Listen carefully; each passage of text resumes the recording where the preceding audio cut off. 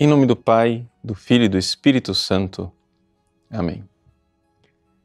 Meus queridos irmãos e irmãs, hoje celebramos a memória de Santo Agostinho, grande doutor da Igreja que mudou a história da Igreja muito mais do que tantos teólogos. Certamente São Paulo, Santo Agostinho e Santo Tomás de Aquino são os três grandes pilares que mudaram toda a história do cristianismo com o seu pensamento e com o seu ensinamento teológico. Mas, muito mais do que isso, o testemunho da conversão de Santo Agostinho é muito importante para nós. Por quê? Porque Santo Agostinho era um profissional do marketing, poderíamos dizer. Ou seja, ele era um retor. Quem era um retor? Um retor na Roma antiga era um orador que era contratado como advogado ou como um palestrante para convencer as pessoas com a sua retórica. Portanto, poderíamos dizer, ele era alguém especializado em construir verdades aparentes. E ele era bastante competente nisso. Nós vemos, por exemplo, nos escritos de Santo Agostinho com que elegância, com que persuasão e com que é, beleza ele consegue argumentar e arrastar as pessoas. Realmente, os discursos de Agostinho antes da conversão deveriam ser verdadeiramente problemáticos. Ele era capaz de arrastar uma multidão atrás de uma falsa ideia.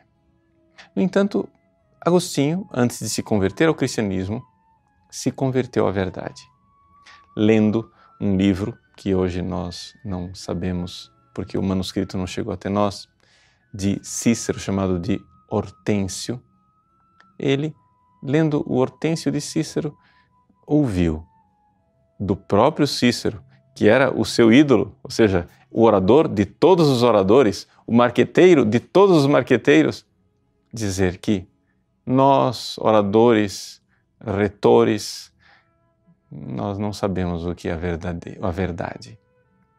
O que realmente importa aquilo que fazem os filósofos, a busca da verdade, a busca do ser das coisas, o que as coisas realmente são, não somente o que as coisas parecem ser. Foi então que Agostinho se converteu pela primeira vez. A conversão da busca da verdade. E ele então ingressou numa busca filosófica da verdade que finalmente o levou ao cristianismo. Vejam como um homem que busca a verdade abandona o mundo das aparências para ir de encontro ao mundo do ser. Mesmo que esta notícia, mesmo que esta verdade, mesmo que essa luz encontrada seja dolorosa aos meus olhos e me ofusque. Santo Agostinho, então, ouvindo Santo Ambrósio em Milão, um homem que ele tinha ido para admirar na sua capacidade oratória, começou a enxergar uma verdade ainda mais profunda do que a verdade que ele encontrara nos filósofos. A verdade do Cristo vivo, do Cristo ressuscitado na vida dos seus santos na igreja. Um dia, no jardim de sua casa em Milão, ele ouve a narrativa de monges que haviam largado tudo por amor a Cristo aquilo ilumina Santo Agostinho por dentro e ele se volta para Alípio, seu amigo e companheiro, e diz: E nós, o que faremos? Se estes e aqueles deixaram tudo por Cristo, por que não nós?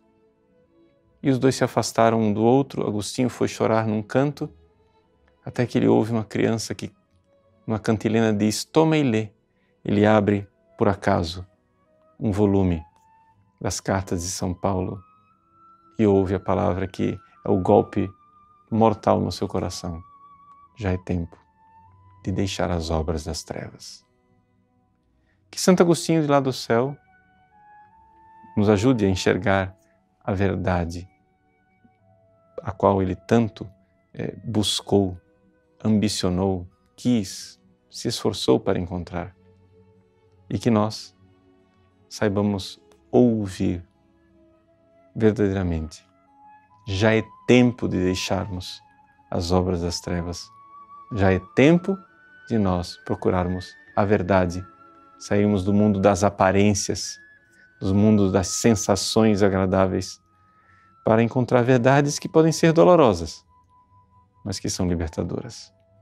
Deus abençoe você. Em nome do Pai, e do Filho e do Espírito Santo. Amém.